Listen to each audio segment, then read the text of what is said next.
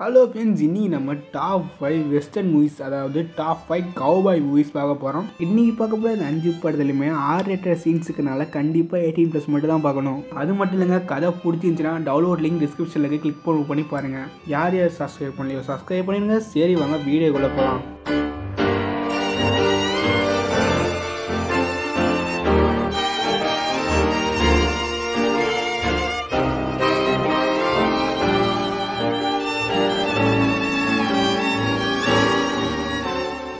Okay friends இந்த வீடியோவில் அஞ்சாவது எடுத்துக்கிற படம் தாங்க தி ஹேட்ஃபுல் எயிட் ரெண்டாயிரத்தி பதினஞ்சில் வந்த இந்த படம் IMD plus seven point eight rating வாங்கியிருக்கு. இந்த படத்தில் நம்ம ஹீரோ வந்து ஒரு பவுண்டி ஹண்டர் கண்டே பிடிக்க முடியாத குற்றவாளியில் பிடிச்சி போலீஸ் ஏத்தல தான் எங்கள் வேலையே. அந்த டைம் நிறைய குற்றவாளியில் பிடிச்சி மலைப்பகுதியில் போயிட்டு இருக்கும்போது பனி உழுவ ஆரம்பிக்குது. இதுக்கு மேலே போக முடியாதுன்னு நினச்சி இவரும் அந்த குற்றவாளிகளும் அங்கே மலையில் இருக்கிற ஒரு ஹோட்டலில் தங்குறாங்க.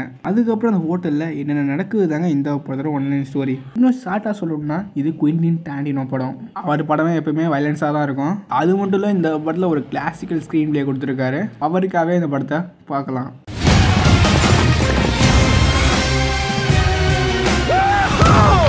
Now we're talking. Okay friends இந்த அப்படியில் நாலாவது இடத்த வைக்கிற படம் தாங்க தி லோன் ரேஞ்சர் ரெண்டாயிரத்தி பதிமூணில் my favourite hero Johnny Depp நடிப்பில் வந்த இந்த படம் IMD plus six point four rating வாங்கியிருக்கு. ஜாயின் டேப்போட ஃபேன்ஸ் எல்லாரும் இந்த படத்தை பார்த்துருப்பீங்க. அப்படி பார்க்காதவங்களுக்கு ஒன்லைன் சொல்கிறேன் எப்படி இந்த கதையை சொல்கிறதுன்னு தெரியல பட் இந்த படத்தில் மொத்தம் மூணு கதை இருக்குது ஒரு வைர கோகைக்கு ஆசைப்பட்டு ஒரு கிராமத்தை அழிக்கிறாங்க. வில்லன் குரூப்ஸ் அந்த கிராமத்துலேருந்து ஒத்த மட்டும் தப்பிக்கிறான். வேற யாருங்க நம்ம படத்தோட ஹீரோ ஜாயிடப் அதே மாதிரி அந்த வில்லன் குரூப் வந்து கவுபாய்ஸ் அழிக்கிறாங்க. அந்த கொல்லப்பட்ட கவுபாய்ஸோட ஒருவர் தம்பி தான் பழிவக நினைக்கிறாரு. கடைசியில் இவங்க ரெண்டு பேர் சேர்ந்து என்னென்ன பண்ணாங்கன்னாங்க இந்த படம் ஒன்லைன் ஸ்டோரி இந்த படத்தை யார் யார் பார்க்கலையோ ஒரு பெஸ்ட்டு வெஸ்டர்ன் மூவி மிஸ் பண்ணியே கண்டிப்பாக இந்த படத்தை எல்லோரும் பார்க்கலாம். தமிழ் டப்புலேயே இருக்குது அது மட்டும் இல்லை கிளைமேக்ஸில் வர அந்த பேக்ரவுண்ட் மியூசிக் ப்ளஸ் அந்த ட்ரைன் சீனும் வேறு லெவலாக இருக்கும். போய் டவுன் பண்ணி பாருங்கள்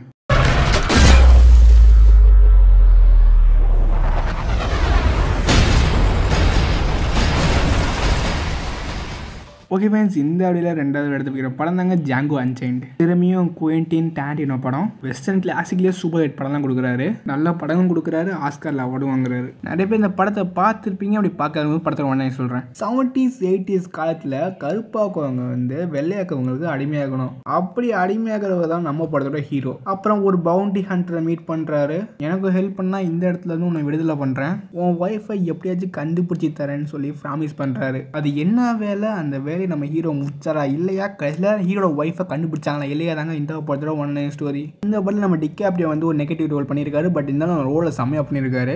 ரொம்ப ரொம்ப கிளாசிக்கல் ஸ்க்ரீன் பிளே முன்னாடியே சொல்லிட்டேன் குயின்டின் டாடினோ படம் ரொம்ப வயலன்ஸாக இருக்கும். கண்டிப்பாக எயிட்டீன் ப்ளஸ் மட்டும் தான் பார்க்கணும். What's your name? Django. The D is silent. Okay இந்த அடியில் நம்பர் ஒன் டாப் ஒன் எடுத்து அப்படிங்கிற படம் தாங்க the good the bad and the ugly nineteen sixty சிக்ஸில் வந்த இந்த படம் ஐஎம்டிபியில் எயிட் பாயிண்ட் எயிட் ரேட்டிங் வாங்கியிருக்கு.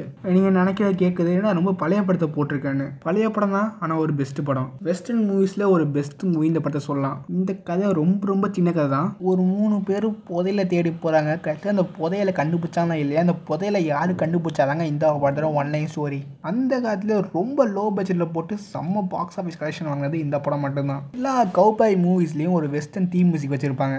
அதே மாதிரி இந்த படத்துலேயும் ஒரு தீம் மியூசிக் இருக்குது டைம் இருந்தால் யூடியூப்லவே சர்ச் பண்ணி பாருங்கள் இந்த தீம் மியூசிக்கை கண்டிப்பாக இந்த படத்தை லவ் பண்ணி பார்ப்பீங்க. கிளைமேக்ஸ் சீனில் கன்னில் புல்லட்டை லோட் பண்ணும்போது ஒரு எக்கோ சவுண்ட் வரும் பாருங்கள் அப்படியே ப்ளஸ் பேக்ரவுண்ட் கொடுத்து செம்ம கூஸ் பம்ப்ஸாக இருக்கும் சீன்லாம் கண்டிப்பாக இந்த படத்தை எல்லோரும் பார்க்கலாம். டவுன் பண்ணி பாருங்கள்